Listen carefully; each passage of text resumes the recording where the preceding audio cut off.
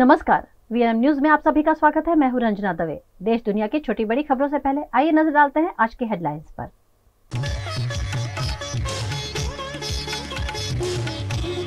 Qatar में भारतीय नौ सैनिकों की सजाए मौत को बदला कैद में, भारत सरकार को मिली बड़ी सफलता।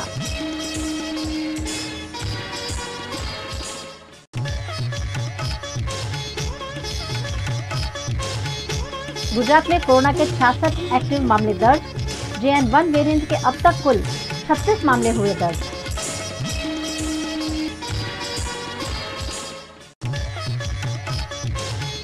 और वडोदरा की बरसाती काश में छोड़ा जाता है ड्रेनेज का दूषित पानी। सफ़ाई के प्रति बीएमसी उदासीन।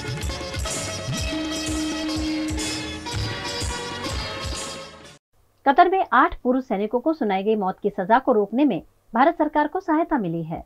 कतर में कथित तौर पर जासूसी के आरोपी आठ पूर्व भारतीय नौसैनिकों की फांसी की सजा पर वहाँ की अदालत ने रोक लगा दी है। अब सजाए मौत की जगह इन भारतीयों को जेल में रहना होगा। भारतीय विदेश मंत्रालय ने इसकी पुष्टि की है। कतर की कोर्ट ऑफ़ अपील ने फैसला गुरुवार को सुनाया। भारतीय विदेश मंत्रालय ने इस पर कहा कि फैसले की डिटेल्स का इंतज़ार है, इसके बाद ही अगले कदम पर विचार किया जाएगा। सुनवाई के दौरान भारत के एम्बेसडर अदालत में मौजूद थे। उनके साथ सभी आठ परिवारों के सदस्य भी थे। भारत ने इसके लिए स्पेशल काउंसिल नियुक्त किए थे। हालाँकि, फैसले की विस्तार से जानकारी अभी नहीं दी गई है। गुजरात राज्य में कोरोना के मामलों में लगातार बढ़ोतरी दर्ज की जा रही है। राज्य में जे एन वन वेरियंट के कुल 36 मामले दर्ज किए गए हैं। गुजरात में कोरोना के छियासठ एक्टिव मामले दर्ज किए गए हैं। जे एन वन वेरियंट के 36 केस दर्ज किए गए हैं, जिसमें से 22 मरीजों के स्वस्थ होने की जानकारी मिली है। वहीं 14 मरीज़ होम आइसोलेशन में हैं। अभी तक राज्य में कुल 8,426 कोविड टेस्ट किए गए हैं जिसमें से निन्यानवे कोरोना पॉजिटिव पाए गए। पॉजिटिविटी रेट 0.86 प्रतिशत रही। राज्य में सिर्फ़ दो कोरोना पॉजिटिव मरीज़ अस्पताल में इलाज ले रहे हैं।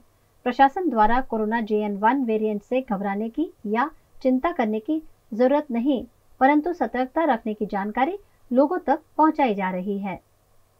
राज्य में कोरोना से संक्रमित छियासठ एक्टिव केसेस हैं जिसमें अहमदाबाद में सैतालीस राजकोट में दस गांधीनगर में चार दाहोद गिर सोमनाथ कच्छ मोरबी और साबरकांठा में एक एक एक्टिव मामले हैं राज्य में प्रत्येक कोरोना पॉजिटिव मरीज का जीनोम સિક્વેન્સિંગ किया जा रहा है સ્વાભાવિક છે કે અહીંયા ગુજરાતની અંદર કોરોનાનો વ્યાપ હજુ આપણે ચિંતાજનક નથી બીજા રાજ્યોમાંથી લોકો આવતા હોય અને આપણે જે આ ટેસ્ટિંગ પણ કરીએ છીએ જે વ્યક્તિને કોરોના માલુમ પડતાની સાથે એની આજુબાજુ એના એન્વાયરમેન્ટમાં જીવતા કોન્ટેક્ટ પર્સનનું પણ આપણે કોવિડ ટેસ્ટ કરી લઈએ છીએ.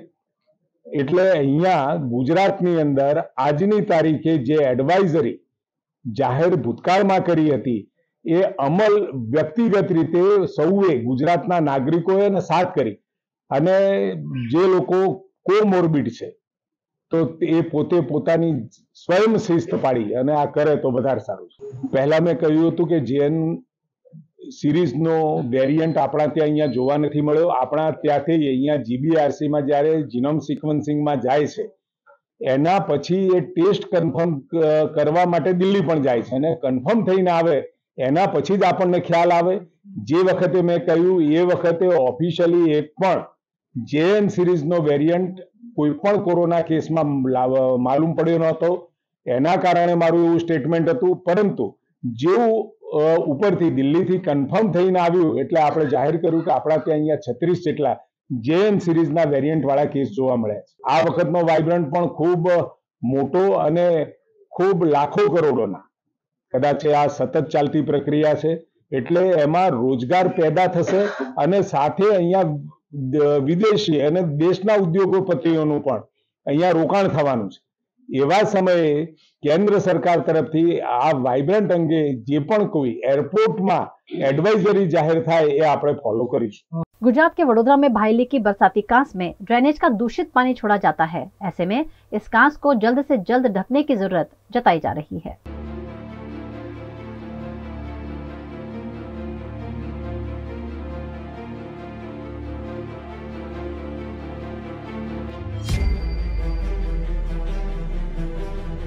गुजरात की वडोदरा शहर में बारिश के पानी की निकासी हमेशा ही एक बड़ा मुद्दा रहा है। आधे घंटे की बारिश होती है और वडोदरा शहर पानी में डूब जाता है। और इसीलिए पानी की निकासी के लिए जगह जगह बनाई गई है बरसाती कांस लेकिन बरसाती कांस का इस्तेमाल बरसाती पानी के निकाल की बजाय गंदगी फैलाने में ज़्यादा होता है। फ़िलहाल मैं जहाँ हूँ, वो भाईली कांस है, जहाँ से एक लंबी कांस गुजरती है और बरसात में तो यहाँ क्या होता है? वो आप सब जानते ही हैं, लेकिन आम दिनों में भी आसपास के बिल्डिंग के जो बिल्डर है, उनकी पाइपलाइन सीधी सीधी बरसाती कांस में छोड़ी गई है। बरसाती कांस में गटर का पानी, ड्रेनेज का पानी कभी भी नहीं छोड़ा जाना चाहिए। ये नियम है, लेकिन अगर आप मेरे पीछे देख पा रहे हैं तो आसपास की इमारतों का पानी धड़ल्ले से भाईली कांस में छोड़ा जा रहा है।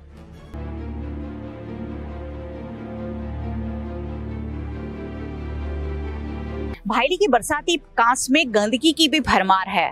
आसपास की जो झाड़ियाँ हैं, वो भी उसमें डाली गई है। यहाँ पानी में निकलने वाली बेल उगाई है और कचरे की यहाँ भरमार है। ऐसे में बरसाती कांस का इस्तेमाल कहाँ और कैसे हो सकता है, उस पर एक बड़ा सवालिया निशान है। कॉरपोरेशन की लापरवाही यहाँ साफ़ साफ़ झलकती है कि इस बरसाती कांस को लेकर कॉरपोरेशन की जो उदासीनता है, उसका खामियाजा आसपास के नागरिकों को भुगतना पड़ रहा है। पानी में उगने वाली बेल ने इस कदर अपना डेरा जमा दिया है कि यहाँ से पानी की निकासी काफ़ी मुश्किल है। ऐसे में बरसात में यहाँ ये जो इलाका है, पूरा पानी में डूब जाता है। यहाँ कई फीट पानी भर जाता है, जो कई दिनों तक नहीं उतरता है और यहाँ लाखों करोड़ों रुपए के फ्लैट लेने वाले लोग उसी पानी में से गुजरने के लिए मजबूर होते हैं।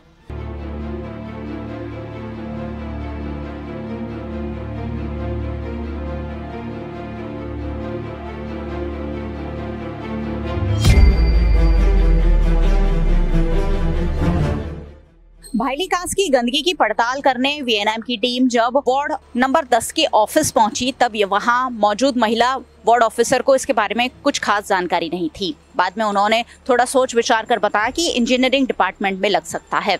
जब हमने असिस्टेंट कार्यकारी इंजीनियर नरेश रबारी से इस पर संपर्क करने की कोशिश की तो उन्होंने ये कहा कि मैं उसी इलाके में हूँ। हमने कहा कि हम वहीं आपसे आकर मिलते हैं, लेकिन अब वो हमारा फ़ोन भी नहीं उठा रहे हैं। यानी कॉरपोरेशन के जिम्मेदार कर्मचारी या अधिकारी इस मामले कोई जवाब देने के लिए तैयार नहीं है। वैसे स्थायी समिति के अध्यक्ष डॉक्टर शीतल मिस्त्री से जब इस बारे में हमने सवाल पूछा, तब उन्होंने इस कास का काम जल्द से जल्द निपटाने की बात ज़रूर कही है। गुजरात के वडोदरा शहर में नागरिकों को सुविधा देने के लिए कई विकास कार्य शुरू किए गए हैं। कई विकास कार्य सालों से चलते जा रहे हैं, लेकिन पूरे नहीं हो रहे हैं, जिसके चलते नागरिकों को असुविधाओं का सामना करना पड़ता है। ऐसा ही एक काम है भाईली, सेवासी वाली जो बरसाती कांस है, जिसमें गटर का पानी नहीं छोड़ना चाहिए, लेकिन ड्रेनेज के कनेक्शन दिए गए हैं और बिल्डर अपना अपना ड्रेनेज का पानी उसमें छोड़ते हैं, जिसकी वजह से उसमें गंदगी बढ़ रही है। इस पर स्थायी समिति के चेयरमैन डॉक्टर शीतल मिस्त्री से हम बात करेंगे कि आखिरकार कब तक ये पूरी बरसाती कांस को ढकने का काम है, वो कॉरपोरेशन पूरा कर पाएगी? क्योंकि सालों से चल रहा है? सर, बहुत साल हो गए। वहाँ अब बहुत सारे लोग रहने आ गए। ये काम तब शुरू किया गया था जब वहाँ लोग डेवलप्ड एरिया नहीं था, लेकिन अब बहुत सारे लोग रहने भी आ गए हैं। लोगों के स्वास्थ्य पर कहीं ना कहीं असर पड़ रहा है। किस तरह का एक्शन जल्द से जल्द लिया जाए ताकि नागरिकों को कॉरपोरेशन सुविधा दे सके? प्रिया टॉकीज से लेके बिल तक का जो बरसाती कांस है उस पर मीडिया के माध्यम से और आजू बाजू के जो रईस लोग हैं, उनका कंप्लेन आ रहा है कि यहाँ बास आती है, गंदा पानी बह रहा है कांस में से तो उसको जल्द से जल्द कवर करने का कार्य शुरू किया जाएगा। आज की तारीख में रेवेन्यू कैपिटल बजट में काम रखा गया है। जैसे ही अमरूद की ग्रांट आती है, ये काम को आरसीबी से अमरूद के ग्रांट में तब्दील करके जल्द से जल्द काम पूरा किया जाएगा। इसमें कई कॉन्ट्रैक्टरों ने काम बना कर दिया है। क्या इस तरीके का कुछ है? क्योंकि बहुत वक्त से ये कॉन्ट्रैक्ट बदल बदल के दूसरे कॉन्ट्रैक्टर को दिया जा रहा है। अभी तक इसका टेंडर प्रक्रिया हुआ नहीं है। जैसे टेंडर प्रक्रिया होगा आगे की जानकारी दी जाएगी। सर काम चल रहा है। प्रिया टॉकिस तक तो स्लैब ढक दिया है। आगे का बाकी है खाली। हाँ एक इसको फ़ेज़ वाइज करते हैं। जो प्रिया टॉकिस तक का है वो काम तो हो गया उसमें कोई दिक्कत है नहीं। अगर कॉन्ट्रैक्टर देरी कर रहा है तो उसको नोटिस भी दिया जाएगा, पेनल्टी भी किया जाएगा, लेकिन जो बाकी का काम है, वो जल्द से जल्द शुरू किया जाएगा, उसको स्वर्णिम की ग्रांट में इसको इंक्लूड किया जाएगा। चलिए, आशा करते हैं कि अगला मानसून, वो बरसाती कहाँ से ढक जाए, ताकि वहाँ रहने वाले लाखों करोड़ों रुपए खरीद कर फ्लैट लेने वाले लोगों को सुविधा मिल सके।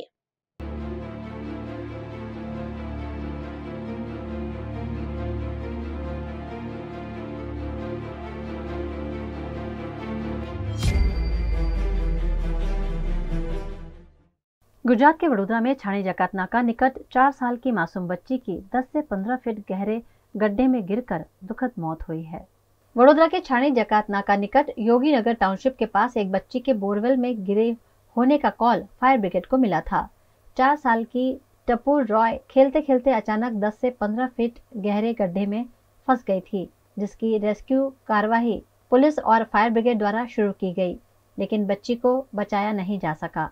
यहाँ खेत में मजदूरों को रहने के लिए कमरे बनाए जा रहे थे कमरे की पाइलिंग के लिए 12 इंच के गड्ढे खोदे गए थे जिसमें खेलते खेलते बच्ची फेंसिंग तार से अंदर जाकर गड्ढे में गिर गई दमकल विभाग ने इस बच्ची को बचाने के लिए करीब 20 मिनट जितनी कड़ी मशक्कत की और बच्ची को सुरक्षित रूप से बाहर निकालने में सफलता भी मिली लेकिन उसे बचाया नहीं जा सका બાળક દસેક ફૂટ ઊંડા ખાડામાં પડેલ છે તેવો કોલ મળ્યો હતો તે તેઓને વડોદરા ફાયર બ્રિગેડના અ, કર્મચારીઓ દ્વારા રેસ્ક્યू કરી ખાડામાંથી અને હોસ્પિટલ હોસ્પિટલાઇઝ કર્યા છે ત્યાં. गड्ढा में कुछ नहीं ढका तो मेरा लड़की खेलने गया और लड़की वहाँ पर गिर गया और वो दस फीट का गड्ढा है हम लोग बहुत कोशिश किया और रस्सी लगा के नहीं उठा पाया फिर वो अम, सब साल लोग उधर से आया तो फ़ोन किया यहाँ पर सब गया तो फायर वगैरह गया वो जाके मेरे लड़की को उठाया जिस गड्ढे में गिर गया मेरा लड़की मैं तो वो लोग को नहीं छोड़ेंगे स्टेप लेंगे हम वो जो जिसका जो गड्ढा खुरा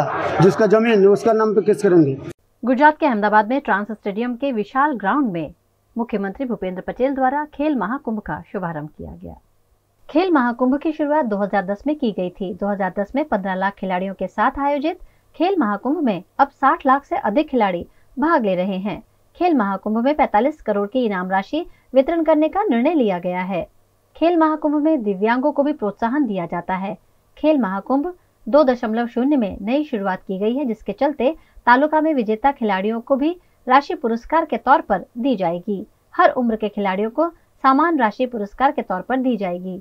इस बार फुटबॉल, वॉलीबॉल जैसे चार खेलों का समावेश किया गया है। विजेता खिलाड़ियों और प्रोफेशनल स्पोर्ट्स लीग के खिलाड़ियों के बीच स्पोर्ट्स लीग का आयोजन किया जाएगा। इसके अलावा दिव्यांग खिलाड़ियों के लिए स्पेशल महाकुंभ किया जाएगा और पूरे वर्ष के दौरान विविध खेल स्पर्धाओं का आयोजन किया जाएगा। खेल महाकुंभ के शुभारंभ के मौके पर भव्य आयोजन किया गया। इस आयोजन में बच्चों से लेकर बड़ों तक सभी को शामिल किया गया। खेल महाकुंभ के इनोग्रेशन पर खूबसूरत वेशभूषा में गरबा प्रस्तुत किया गया।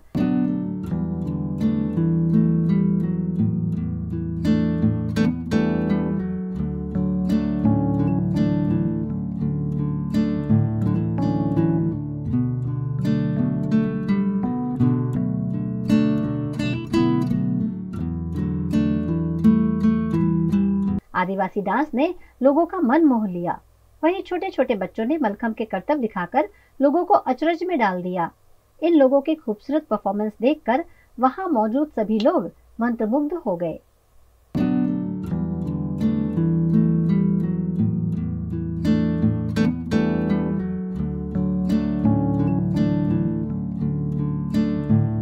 ये मैंने होंगजू चाइना में जो चेस का इवेंट था एशियन पैरा गेम्स उसके अंदर मैंने टे- देश के लिए एक गोल्ड और एक ब्रॉन्ज मेडल हासिल किया है। इनाम जीत के अच्छा लग रहा है और फाइनली सरकार का आशीर्वाद भी अभी हमारे पे आने लगा है पर्टिकुलर ब्लाइंड चेस के लिए तो और भी अच्छा लग रहा है।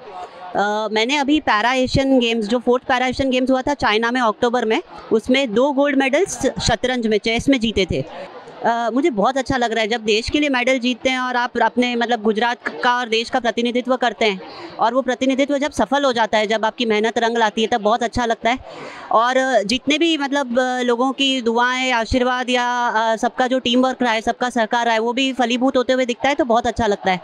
तो आज ये खेल महाकुंभ का जो आयोजन हुआ और इसमें जो भी इनाम राशि प्रस्तुत की गई मुख्यमंत्री द्वारा और तो बहुत मतलब प्रोत्साहनजनक है ये चीज़। खेल महाकुंभ के इनोग्रेशन में खेल प्रतिभा पुरस्कार में जो पैरा एशियन गेम्स में जो मेडल जीत के आए थे, उनका सम्मान किया गया है और उनको रोकड़ पुरस्कार मिला है तो उसके लिए मैं गुजरात गवर्नमेंट को थैंक्स कहना चाहती हूँ। अपने आप में हमेशा आत्मविश्वास रखिए आपका आत्मविश्वास ही आपको हर जगह पे जिता सकता है, चाहे नॉर्मल लाइफ हो या चाहे स्पोर्ट्स हो या कोई भी फ़ील्ड हो। आपको अपने आप पर आत्मविश्वास रखना चाहिए और अगर आत्मविश्वास है और आप सही मायनों में मेहनत करते रहोगे और हमेशा पॉजिटिव रहोगे तो डेफिनेटली आपको जहाँ पहुँचना है, वहाँ आप पहुँच ही जाओगे। खेल महाकुंभ के उद्घाटन के मौके पर सांसद किरीट सोलंकी, सांसद हसमुख पटेल, स्थानीय विधायक मुख्यमंत्री भूपेंद्र पटेल, गृह राज्य मंत्री हर्ष संघवी अहमदाबाद की मेयर प्रतिभा जैन, नेता, अधिकारी और गणमान्य उपस्थित रहे। इस मौके पर एशियन गेम्स में राष्ट्रीय और अंतर्राष्ट्रीय स्तर पर विजेता रहे खिलाड़ियों को पुरस्कार देकर सम्मानित किया गया। शक्ति दूत योजना करके गुजरात गवर्नमेंट की है। उसमें से प्लेयर्स को बहुत अच्छा बेनिफिट मिलता है, जो जैसे कि अपने देश और आउट ऑफ़ कंट्री ट्रेनिंग के लिए बाहर जाना पड़ता है तो वो भी खर्चा मतलब गवर्नमेंट देते हैं। तो उसके अलावा जैसे कि प्लेयर्स खेल खेल के बाद में क्या करेंगे? तो उसको देख के मतलब गवर्नमेंट ने ये भी डिसीज़न लिया कि जो जैसा मेडल देगा तो उसके बाद उसको मतलब उसी कैटेगरी के हिसाब से class class three class two class one उस तरह जॉब दिया जाएगा। जैसे कि मैंने एशियन गेम्स में मेडल दिया तो गवर्नमेंट ने मुझे पुलिस डिपार्टमेंट और डायरेक्ट डी की जॉब दी है। तो मतलब ये बच्चों के लिए बहुत अच्छा है कि भाई खेल के भी मतलब ऐसा जॉब मिल रहे तो मतलब वो और मेहनत दूसरे बच्चों करेंगे ताकि उन भी हिस्सा ले सके खबरों का दौर यूँ ही चलता रहेगा फ़िलहाल वक्त है एक ब्रेक का Part of the RR Global Conglomerate with a presence in over 50 countries. RR Kabel is a leading Indian wires and cables brand, a wide range offering excellent quality and trustworthiness. RR also has a wide range of lighting solutions. Choose from several options that can light up your home or office. Presenting appliances from RR, increasing the style quotient of your home. Delivering convenience every day. RR fans, lighting solutions, air coolers, water heaters, irons and more. When it comes to trust, quality and convenience, ask for home appliances from RR Kabel, your one-stop electric goods solutions provider. Bharat ले रहा है electric अंगड़ाई क्यों ना हम साथ चले साथ चले साथ बढ़े साथ बढ़े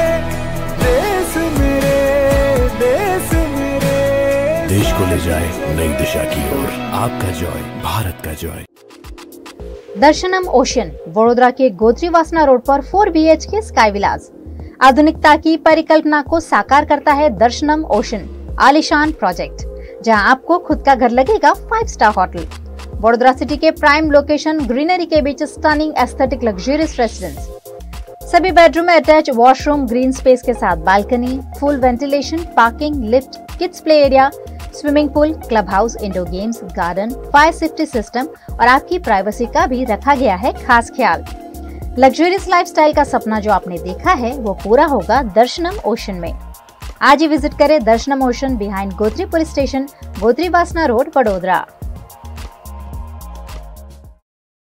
गुजरात के वडोदरा में कॉरपोरेशन के 150 से ज़्यादा ऐसे अकाउंट्स ऑडिट में सामने आए हैं जो इस्तेमाल ही नहीं हो रहे हैं। क्या है इन अकाउंट्स की हकीकत?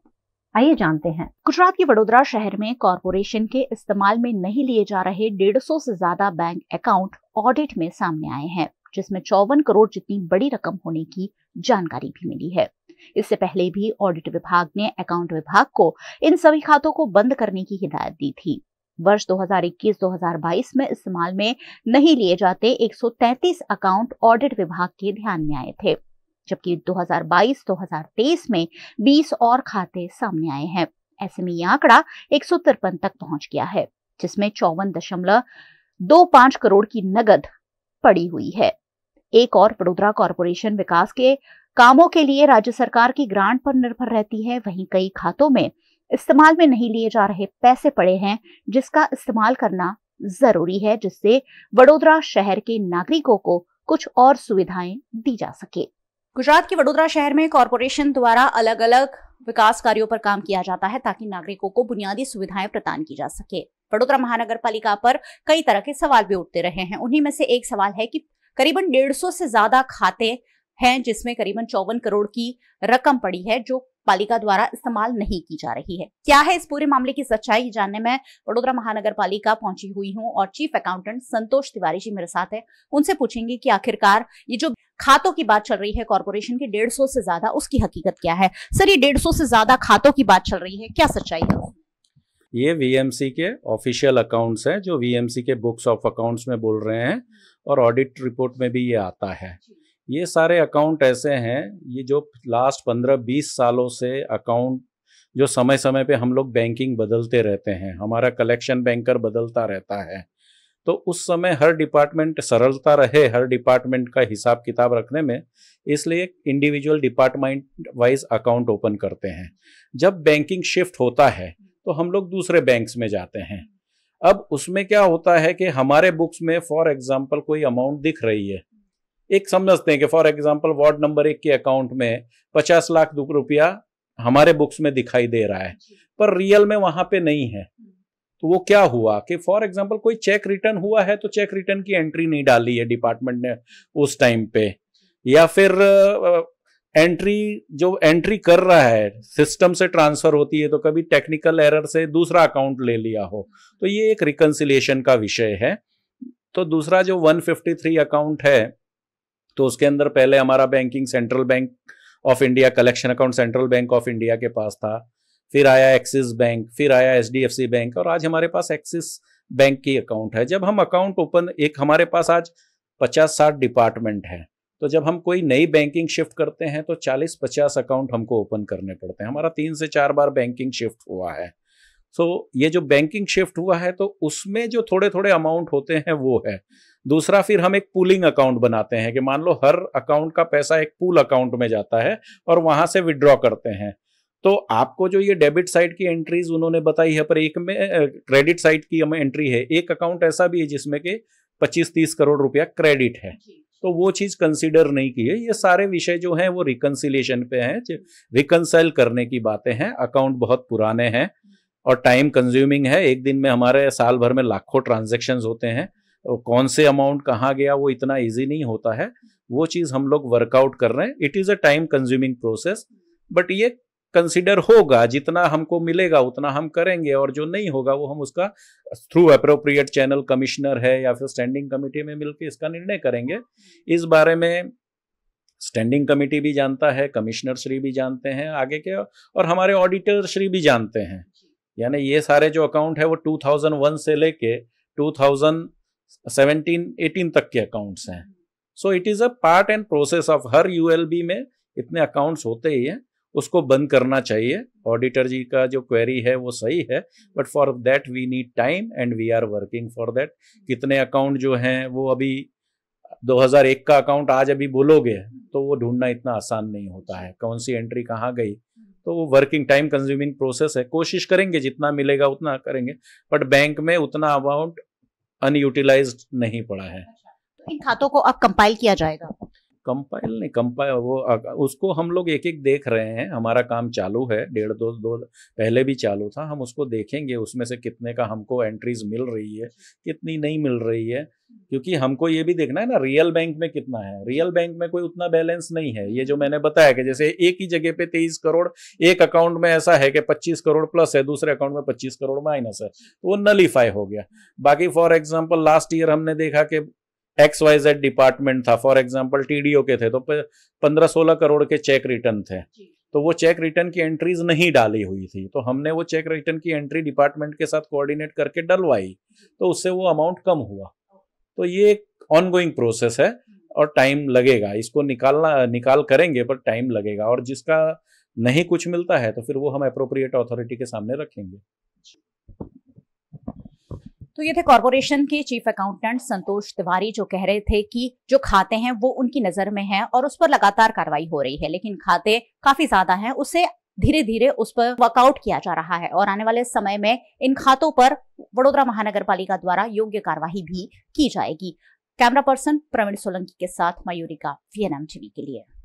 गुजरात के वडोदरा के वाघोड़िया में स्थित स्पोर्ट्स कॉम्प्लेक्स में यूनाइटेड वे ऑफ़ बड़ोड़ा द्वारा खुशियों का उत्सव कार्यक्रम का आयोजन किया गया। पिछले 18 वर्ष से यूनाइटेड वे ऑफ़ बड़ोड़ा द्वारा शहर में खुशियों का उत्सव नामक कार्यक्रम का आयोजन किया जा रहा है।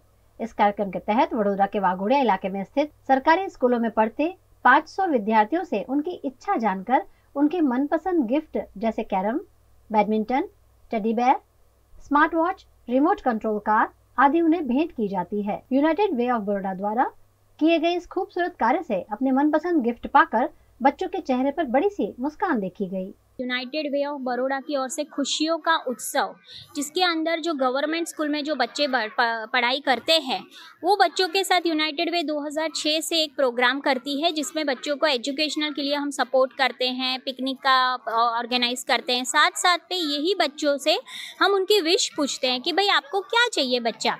तो वो बच्चे हमें कहते हैं कि मुझे कैरम चाहिए, मुझे डॉल हाउस चाहिए, मुझे क्रिकेट की किट चाहिए, ऐसा जो भी उनको विश है, वो आज के प्रोग्राम के अंदर हम लोग खुशियों का उत्सव गेम्स और वो सब का फन पार्टी आयोजन करके हम उनको ये गिफ्ट देते हैं। ताकि वो लोग फुल ऑन एंजॉय कर सके, उन्हें लगे नहीं कि हम ऑर्फन हैं या सिंगल पेरेंट है, उन्हें भी एक जैसा ही प्लेटफॉर्म मिल पाए।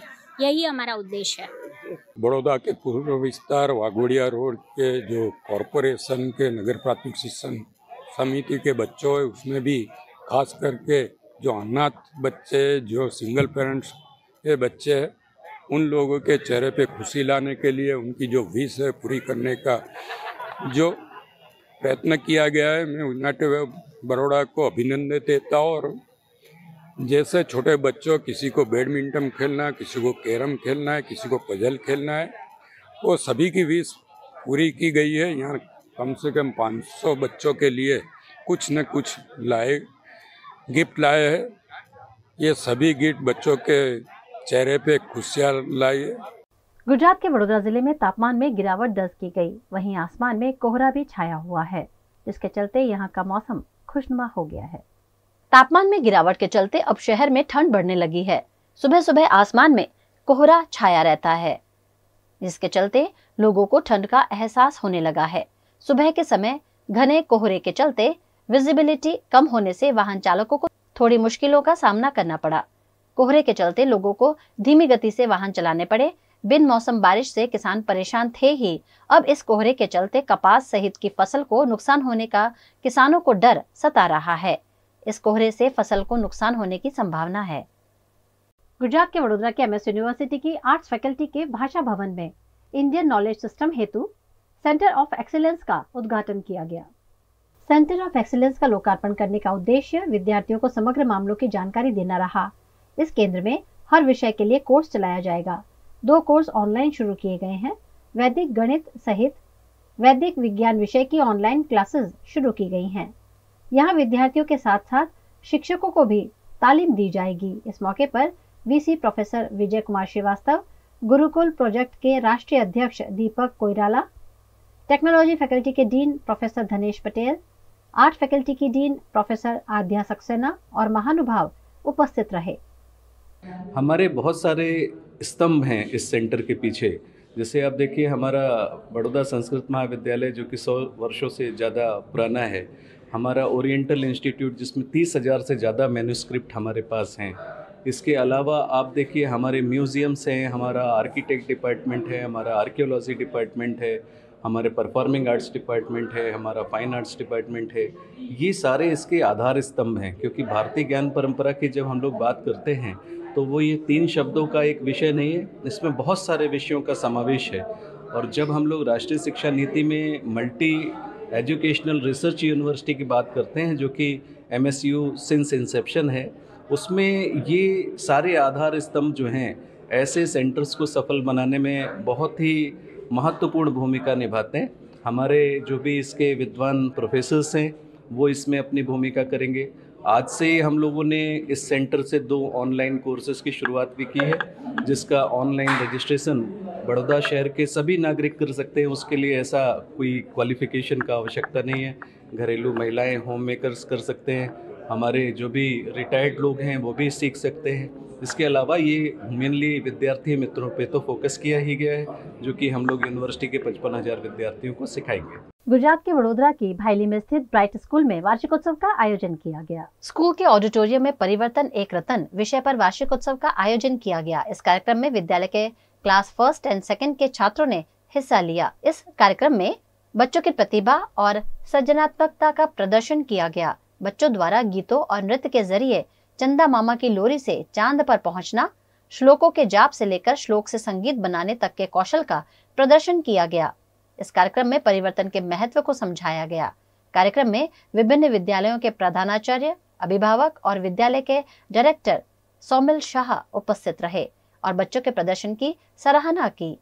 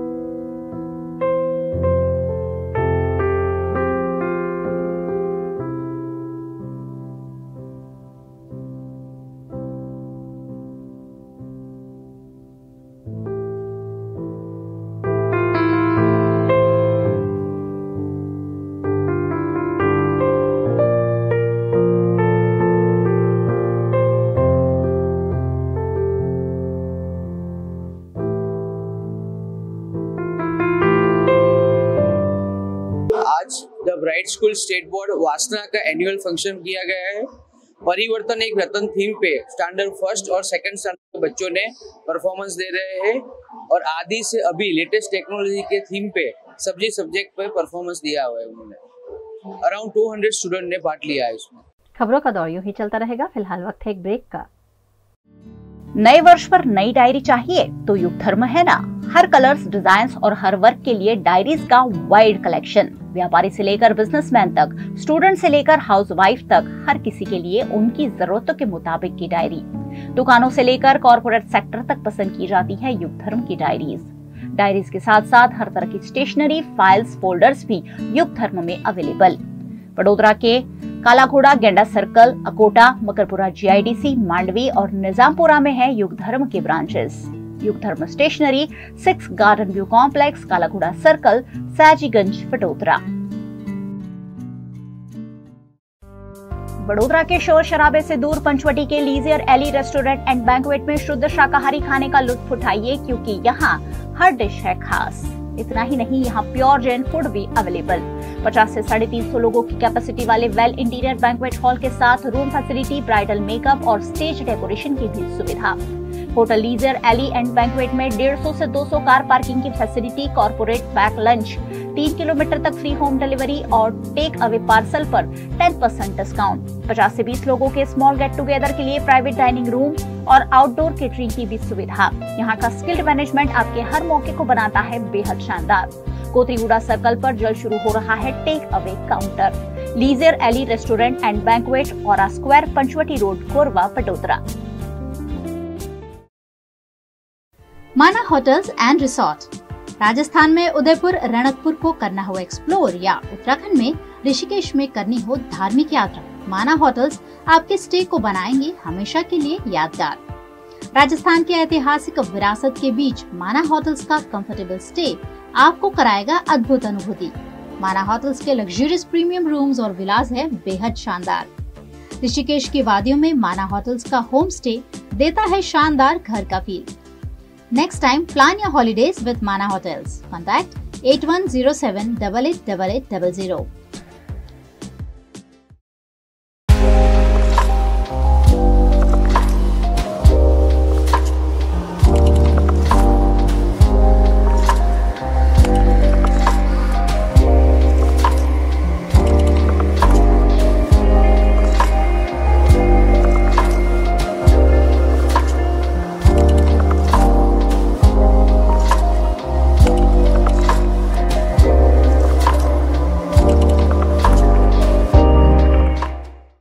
Gujarat के वडोदरा में बड़ोड़ा हाई स्कूल बगीखाना द्वारा एनुअल स्पोर्ट्स मीट का आयोजन किया गया। विद्यालय के ग्राउंड पर आयोजित एनुअल स्पोर्ट्स मीट में बड़ौदा हाई स्कूल के कक्षा तीन से कक्षा आठ तक के बच्चों ने भाग लिया। इस खेलोत्सव में बच्चों द्वारा अलग अलग तरह के गेम्स में हिस्सा लिया गया। यहाँ उपस्थित अभिभावकों ने इस कार्यक्रम का हिस्सा बनकर बच्चों का उत्साह बढ़ाया। इस एनुअल स्पोर्ट्स मीट में विद्यालय के छात्र, अभिभावक स्कूल स्टाफ मेंबर्स और ट्रस्टी उपस्थित रहे।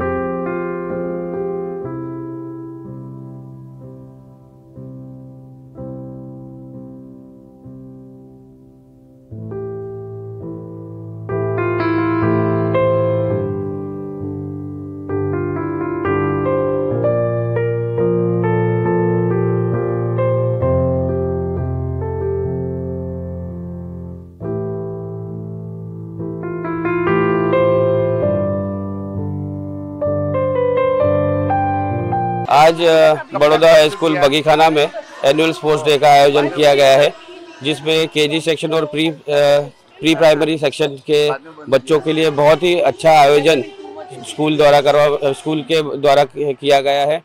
और जो ये दिन है, जो साल में एक बार आता है, वो खुशियों का दिन है। और मैंने आज सुबह यहाँ के देखा कि जितने भी यहाँ पे मेहमान जो गेस्ट बुलाए गए हैं, सारे स्पोर्ट्स के स्टार हैं और इस स्कूल से रिलेटेड है।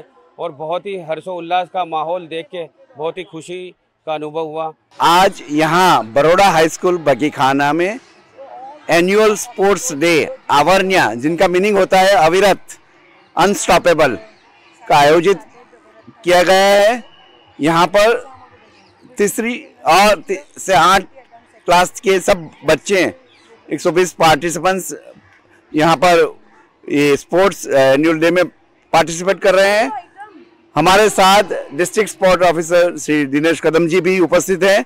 I'm really proud that आज हमारा sports day and we have dignitaries and sports personalities of Gujarat, India from in a s- school to motivate our young ones. हमारे बहुत सारे हमने टीम इवेंट्स कर रहे हैं जो हमने पहले कर दिए। Today we have many track events and it is hundred percent participation more than thousand students have participated either they in march past और ड्रिल और in the track events Gujarat के वडोदरा में डांडिया बाज़ार में स्थित कांग्रेस कार्यालय में कांग्रेस के एक स्थापना दिवस पर कार्यक्रम का आयोजन किया गया। 28 दिसंबर अठारह को कांग्रेस की स्थापना की गई थी। आज कांग्रेस का एक स्थापना दिवस है, जिसके चलते वडोदरा में स्थित कांग्रेस कार्यालय में कार्यक्रम का आयोजन किया गया। इस मौके पर शहर कांग्रेस प्रमुख ऋत्विक जोशी द्वारा कांग्रेस द्वारा किए गए लोकहित के कार्यों की जानकारी दी गई और कांग्रेस का ध्वज फहराया गया। नेताओं द्वारा एक दूसरे को मिठाई खिलाकर इस दिवस को उत्साह के साथ मनाया गया। इस मौके पर वडोदरा शहर कांग्रेस प्रमुख ऋत्विक जोशी, विपक्ष नेता अमीर रावत, कॉरपोरेटर चंद्रकांत श्रीवास्तव, चिराग झवेरी भीखा भाई रबारी और कांग्रेस कार्यकर्ता उपस्थित रहे। एक कांग्रेस स्थापना दिन की आपके माध्यम से सभी नगरजनों को बधाई देता हूँ। कांग्रेस पार्टी के संघर्ष के 138 साल 138 इयर्स यानी बहुत समय। 28 दिसंबर अठारह सौ पचासी में कांग्रेस पार्टी की स्थापना हुई। व्योमेश चंद्र बैनर्जी जो हमारे पहले अध्यक्ष बने दादा भाई नवरोजी हो, बदरुद्दीन तैयब जी हो, मौलाना आज़ाद हो, सरोजिनी नायडू हो, एनी बेसेंट हो, आज़ादी के पहले के राष्ट्रीय अध्यक्ष रहे। इस देश में महात्मा गांधी, पंडित जवाहरलाल नेहरू, सरदार वल्लभ पटेल के नेतृत्व में इस देश को आज़ादी मिली। और आज़ादी के बाद जब पंडित जवाहरलाल नेहरू इस देश के प्रथम प्रधानमंत्री बने, हम कल्पना भी नहीं कर सकते इस देश में जब कुछ भी नहीं बनता था, एक सुई भी नहीं बनती थी, तब पंडित जी ने इस देश की धुरा संभाली थी। विश्व की सबसे पुरानी डेमोक्रेटिक पार्टी, कांग्रेस का आज 138 इयर्स कंप्लीट करके 139 फाउंडेशन डे है। कांग्रेस ऑफ़िस में आज हमने फ्लैग होस्टिंग किया है। इट स्टार्टेड विथ 72 पीपल देश की आज़ादी की लड़त, लड़ाई के लिए जो चालू हुआ। इनिशियली कांग्रेस स्टार्टेड अंग्रेज़ों की सरकार में छोटे छोटे रिफॉर्म्स की बात होते होते संपूर्ण स्वराज की बात हुई। और भारत की आज़ादी में महत्वपूर्ण हिस्सा कांग्रेस पक्ष ने दिया। उसके बाद भी जो देश में एक सुई नहीं बनती थी, वो देश को इस मुकाम पे लाने में कांग्रेस की सबसे बड़ी देन है और आज भी कांग्रेस पे हमेशा उसकी आइडियोलॉजी ये रही है कि जो देश की रिक्वायरमेंट है, उस हिसाब से अपनी आइडियोलॉजीज में धीरे धीरे चेंज करके देश को आगे ले जाने की, सबको एक साथ ले जाने की, ना इक्वलिटी की बात करते हैं सोशलिस्ट और डेमोक्रेसी के प्रिंसिपल्स पे चल के देश के विकास और उन्नति की हमेशा बात करने वाले कांग्रेस पक्ष का स्थापना दिन है। आज कांग्रेस पार्टी का स्थापना दिन है। सौभाग्य की और बात है ये। कि इसकी स्थापना एक अंग्रेज़ ने शुरुआत की थी, भले बंगाली प्रमुख रहा। लेकिन साथ में दादा भाई नवरो जी है के तमाम नेता हैं।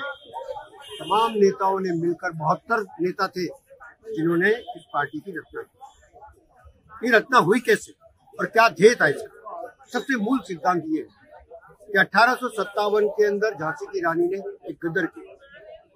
मेरी झांसी नहीं दूँगी। क्योंकि अंग्रेज़ों का जुल्म बढ़ गया था। एक के बाद एक राज ले रहे थे, लोगों के ऊपर जुल्म कर रहे थे, उनको बोलने का हक, तमाम हक खत्म कर कर रहे थे। ऐसे समय के अंदर, एक चिंगारी इस देश के अंदर आज़ादी की लड़ाई शुरू हुई। और वो लड़ाई शुरू होते हुए कांग्रेस पार्टी ने इसकी अठारह सौ पचास में स्थापना की। गुजरात सरकार ने पारदर्शिता लाने के लिए फायर एनओसी समेत की कई प्रक्रिया को ऑनलाइन कर दिया है। जिससे कई तरह की कमियों के चलते आर्किटेक्चर्स को समस्याओं का सामना करना पड़ रहा है।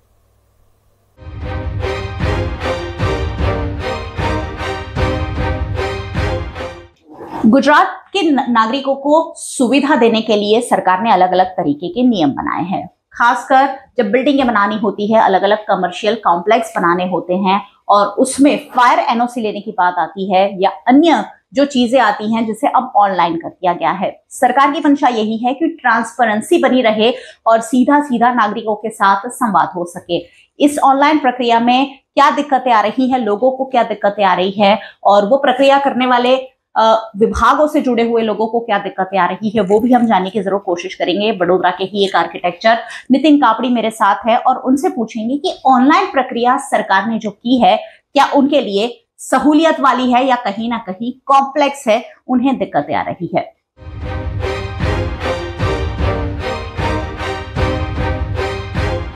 जैसे नागरिक को दिक्कतें आ रही है आर्किटेक्चरों को भी शायद आती ही होगी। ये ऑनलाइन सारे सिस्टम सरकार ने की है। वो आपको सुविधाजनक हुई है या कहीं ना कहीं उससे आपको दिक्कतें आ रही है? नहीं सरकार ने जो किया है वो बहुत अच्छा सुविधाजनक ही है। जी। लेकिन जो सिस्टम है ऑनलाइन प्रोसेस जो सरकार ने निकाला है उस पर थोड़ा ध्यान दे तो बहुत अच्छा होगा। इसका रीजन ये है कि सरकार ने जो ऑनलाइन सिस्टम निकाली है उसमें मैनमेड माइंड यूज़ करने की ज़रूरत नहीं है। सॉफ्टवेयर ऑलरेडी जो बना है वो एज पर जीडीसीआर ही बना है। अगर उसके अंदर कुछ भी अप्रूवल के लिए अपलोड करते हैं अगर वो केस अप्रूवल होके आता है तो उसके अंदर कोई ऑफिसर या कोई भी डिपार्टमेंट या कोई भी अथॉरिटी या फिर आर्किटेक्ट उसको कोई चैलेंज कर नहीं सकते हैं वो क्लियर होता है। फिर भी थोड़े बहुत इश्यूज़ आते हैं डिपार्टमेंट की तरफ़ से ऑडिट्स निकाली जाती है तो हम वही बोलते हैं कि सरकार पहले ऑफिसर्स के पास क्लियरिफिकेशन ले लें कि अगर ये जो ऑडिट निकाल रहे हैं वो सही है या गलत है। जी। क्योंकि इसके अंदर क्या है कि जीडीसीआर का जो भी क्लॉज है वो सब ऑलरेडी क्लैरिफाइड है।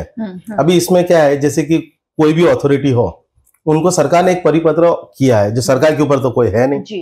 अभी सरकार ने जो परिपत्र किया है उसके अंदर उनके रिस्पॉन्सिबिलिटीज भी फिक्स की है ऑफिसर्स के L one L two L three उनको भी डेट्स दिए है। और साथ में उनको मेल आईडी भी दिया है कि अगर आप कुछ भी ऑडिट निकालते हो तो उसके अंदर पहले सरकार को भेजो clarification low. Meanwhile you have to issue preliminary permission order तो क्या है कि जो भी पर्सन परमिशन के लिए जा रहा है वो आगे का काम कर सके। अगर उनका जो भी ऑडिट है वो क्लैरिफाई होता है कि वहाँ से ऑथोरिटी ने जो दिया है वो सही है तो they can rework and ask architect to reload that case जी जी। इस तरह से प्रोसीजर है। लेकिन इसमें थोड़ी बहुत तकलीफें आ रही है। कि ऑफिसर्स निकाल रहे हैं वो मेल्स भी नहीं कर रहे हैं। तो रिवर्क करते हैं तो हम सरेंडर होके वापस फिर से केस इन्वर्ट करके उसको चला ले रहे हैं। अच्छा मतलब ऑनलाइन होने के बावजूद भी वो जो अधिकारियों का डोमिनेशन है वो कहीं ना कहीं बना हुआ है। हाँ है बना हुआ है। बना कह हुआ सकते हैं। जी।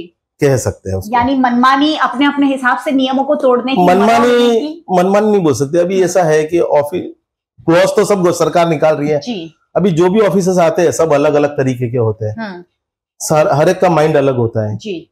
हम उनको इतना ही रिक्वेस्ट करते हैं कि हाँ। सरकार का जो भी परिपत्र जो भी नोटिफिकेशन निकाला है उस हिसाब हाँ। से काम करे। तो हमको भी तकलीफ़ नहीं आपको भी तकलीफ़ नहीं और एंड यूज़र को भी तकलीफ़ नहीं। बिल्कुल बिल्कुल। यानी सरकार के बनाए हुए नियम और सरकारी अधिकारी ही कहीं ना कहीं उसमें जोड़ तोड़ करते हैं और इसीलिए दिक्कतों का सामना नागरिक भी करते हैं और इस पूरे इंडस्ट्री से जुड़े हुए लोग भी करते हैं।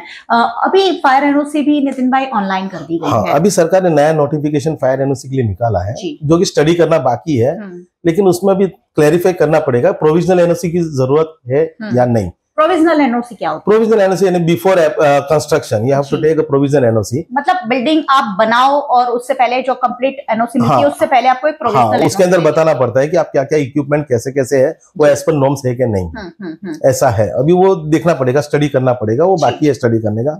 लेकिन मेरे हिसाब से ऐसा है कि प्रोविजनल एनओसी की ज़रूरत इतनी ज़्यादा ज़रूरी नहीं है। हम्म। बिल्डिंग बनने के बाद हम्म, फाइनल एनओसी तो वो देने वाले हैं। हम्म, हम्म, तो उस हिसाब से कैसा है कि अभी एट प्रेजेंट आप ड्राइंग पे जो भी दिखाओगे ज़रूरी नहीं है कि वहीं पे वो पाइपलाइंस आएँगे। जी। अलग भी हो सकती है। हम्म। थोड़ी बहुत इंटरफेयर करना पड़ता है ड्राइंग्स के अंदर कि यहाँ पे सेट नहीं होता यहाँ पे जनरेटर हाँ, सेट नहीं होता है। हम्म, तो वो रिलोकेट भी हो जाता है। हम्म। लेकिन मेरे हिसाब से फायर फायर एनओसी का ही रिक्वायरमेंट हो तो बहुत अच्छा।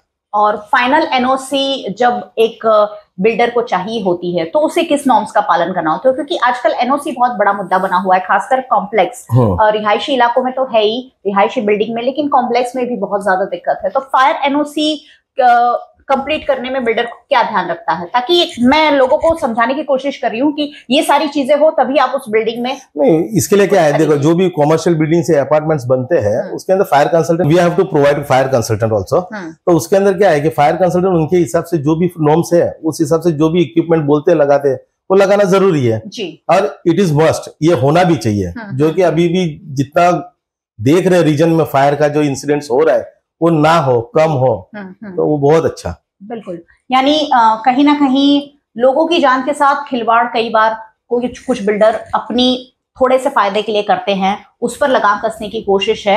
मुझे लगता है इसमें और थोड़ा सामंजस्य आने वाले सालों में बैठेगा। नए नियम है इसलिए शायद और भी दिक्कतें आ रही है। और ऑनलाइन प्रोसीजर में नितिन भाई क्या दिक्कत ऑनलाइन प्रोसीजर सरकार जो कर रही है बहुत अच्छा कर रही है लेकिन पोर्टल चल नहीं रहे मैडम बहुत स्लो चल रहे हैं। अच्छा। वो एक दिक्कत है। पोर्टल में भी आप लोगों को हाँ काफ़ी दिक्कत आती है सर्वर वर्क नहीं कर रहा है। जी। वो अगर हो जाए ना तो इससे बेस्ट कोई आइटम है। ही नहीं है। हम्म। ये करना ही चाहिए। यानी ऑनलाइन के फेवर में हाँ हम ऑनलाइन के फेवर में ही है। लेकिन कुछ रीजन की वजह से हम भी थक जाते हैं। As an architect. We are suppose to give the answer to the end user वो हम दे नहीं पाते हैं। वो time limit हाँ आज वो पूछे सरकार ने टाइम लिमिट तक की है? लेकिन प्रोसेस फाइनल होने का कोई टाइम लिमिट है ही नहीं है। वो लोग एक कोई रीजन की वजह से हम्म। रिवॉक कर देते फ़ाइल वापस पंद्रह बीस दिन का प्रोसेस हो जाता है। जी। सरकार ने बोला है डॉक्यूमेंटेशन का अपलोड करो तुम जो भी ऑडिट हो उनको वो दे दो। जी। यहाँ तो फ़ाइल रिवॉक करते हैं तो नए आईडी से वापस रिलोड करना पड़ता है। अच्छा। फिर से नया पैसा भरना पड़ता है। कभी कभी तो जूना पैसा वो, वो हो भी नहीं रहा है। हम्म हम्म हम्म। तो हमेशा फिर क्या करना पड़ता है? Sometimes we have to bear जी। वो एक दिक्कत आ रही है अभी। हम्म। चलिए, दिक्कतें जो आ रही हैं, वो नागरिकों तक भी पहुँच रही है और वीएनएम के प्लेटफॉर्म से सरकार तक भी पहुँचाने की हम कोशिश कर रहे हैं ताकि सामंजस्य बना रहे। नागरिकों को भी सुविधा हो और साथ ही इस इंडस्ट्री से जुड़े हुए लोगों को भी आसानी हो और गुजरात राज्य जिस तरह प्रगति कर रहा है, उससे चार गुनी ज़्यादा तेज़ी से प्रगति करे। बहुत बहुत शुक्रिया आप सबका हमारे साथ जुड़ने के लिए। आपको हमेशा देखते रहना है, क्योंकि यहाँ हम वही बातें चर्चा में लेते हैं जिसे हमें लगता है कि आप तक पहुंचाना ज़रूरी है। देखते रहिए वीएनआर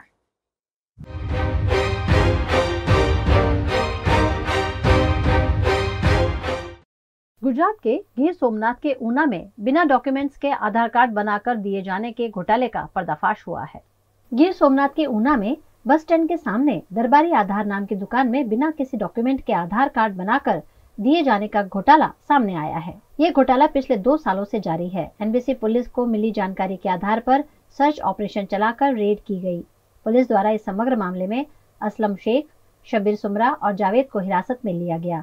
पुलिस द्वारा दुकान और घर में एक ही नंबर के दो Aadhaar card, computer, lamination machine, laptop सहित का मुद्दा माल जब्त किया गया। आरोपी द्वारा डाटा को डिलीट कर दिया गया था, जिसके चलते डाटा रिकवर करने टेक्निकल मदद ली जाएगी तीनों आरोपी अभी रिमांड पर हैं उनके द्वारा एक आधार कार्ड बनाने के लिए 1200 से लेकर हजारों रुपए की मांग की जाती थी ઉનામાં છેલ્લા ત્રણેક દિવસથી અ, ગીર સોમનાથ એલસીબી અને ઉના સ્થાનિક પોલીસ બંને સાથે મળી અને વિગત અમારી પાસે આવી હતી કોઈ એક જગ્યાએ ઉનામાં અ, જે આરોપી છે અસલમ શેખ કરીને એ ડુપ્લિકેટ આધાર કાર્ડ અથવા તો પુરાવા વગરના આધાર કાર્ડ બનાવી રહ્યો છે એના આધારે અમે બાતમીના આધારે આગળની કાર્યવાહી પહેલાં તો ઝીણવટપૂર્વક તપાસ કરી.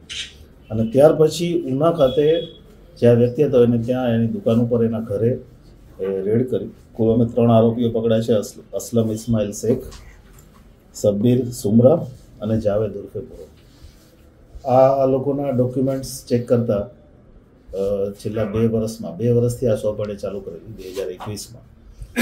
અને બે વર્ષમાં અત્યાર સુધીમાં ટોટલ બારસો આધાર કાર્ડને અલગ અલગ ટાઈપના બનાવ્યા છે. અત્યારે જે પ્રાઇમરી પુરાવા અમને મળ્યા છે ટોટલ ચાલીસ આધાર કાર્ડ ખોટા છે. પુરાવા વગર બનાવી દીધા છે, અથવા તો ડુપ્લિકેટ પુરાવા ઊભા કરીને બનાવવામાં આવ્યા છે. ડુપ્લિકેટ પુરાવામાં એ નગરપાલિકાનો ડુપ્લિકેટ દાખલો ઊભો કરવો, કોઈ અન્યનું આધાર કાર્ડ અથવા તો અન્યનું વોટર કાર્ડ હોય, એમાં ફોટો ચેન્જ કરી નાખવો એવા ઘણા બધા ના- નાના મોટી મોડસ ઓપરેન્ડી સાથે એને આ બધા આધાર કાર્ડ બનાવ્યા છે આગળની તપાસ અત્યારે ઉના પોલીસ કરી રહી છે અને વધારે તપાસમાં વિગતો આવશે પછી આપણે જણાવશું अयोध्या में भगवान राम का भव्य मंदिर बन रहा है जहां रामलला की प्रतिमा की स्थापना होगी लेकिन यहाँ माँ सीता की कोई प्रतिमा नहीं होगी सत्तर एकड़ में बनने वाले राम मंदिर में भगवान रामलला की मूर्ति गर्भगृह में विराजित होगी ये राम का वो स्वरूप होगा जिसमें वे पाँच साल के बालक रूप में होंगे क्योंकि मूर्ति भगवान के बाल स्वरूप की है, इसलिए मंदिर में माँ सीता की कोई मूर्ति नहीं होगी। मंदिर के ट्रस्टी चंपत राय ने इस पर कहा कि मुख्य मंदिर 360 फीट लंबा और 235 फीट चौड़ा होगा। मंदिर का शिखर 161 फीट ऊँचा होगा। परिसर के जिस गर्भगृह में रामलीला विराजेंगे, वहाँ पहुँचने के लिए बत्तीस सीढ़ियाँ चढ़नी पड़ेंगी। सबसे खास बात यह है कि जो मूर्ति स्थापित होगी, वो उस स्वरूप की होगी जिसमें भगवान की शादी नहीं हुई है। यानी कि मुख्य मंदिर में आपको माँ सीता की मूर्ति नज़र नहीं आएगी। मुख्य मंदिर के अलावा जन्मभूमि परिसर में सात और मंदिर बनवाए जा रहे हैं। इनमें भगवान राम के गुरु, ब्रह्मर्षि, वशिष्ठ ब्रह्म ऋषि विश्वामित्र, महर्षि वाल्मीकि, अगस्त्य मुनि, राम भक्त केवट निषाद राज और माता शबरी के मंदिर शामिल हैं। इन मंदिरों का निर्माण 2024 तक पूरा हो जाएगा। राम मंदिर के गर्भगृह तक जाने से पहले आपको लंबा रास्ता तय करना पड़ेगा। मंदिर का प्रवेश पूर्व दिशा में बने सिंह द्वार से होगा। सिंह द्वार से बत्तीस सीढ़ियाँ चढ़कर सबसे पहले रंग मंडप मिलेगा। यहाँ भगवान राम के जीवन से जुड़े चित्र और किरदार दीवारों पर उकेरे गए हैं। रंग मंडप से आगे चलने पर नृत्य मंडप पड़ेगा। गर्भगृह के सबसे नज़दीक यही जगह है। नृत्य मंडप में देवी देवताओं की मूर्तियाँ, रामायण की चौपाइयाँ, पत्थरों पर बहुत सुंदरता से उकेरी गई हैं। नृत्य मंडप से आगे बढ़ने पर भगवान का गर्भगृह पड़ेगा। यहीं पर 22 तारीख को पीएम मोदी रामलला की प्राण प्रतिष्ठा करेंगे। वीरम टीवी की खबरें अब आप यूट्यूब फेसबुक इंस्टाग्राम के अलावा ओटीटी प्लेटफॉर्म्स पर भी लाइव देख सकते हैं। Dailyhunt Jio TV Vodafone TV पर 24 घंटे वीएनएम टीवी आपके लिए उपलब्ध है। तो देखते रहिए VNM TV VNM news room से आज बस इतना ही। कल फिर मुलाकात होगी। तब तक के लिए इजाज़त दीजिए। नमस्कार।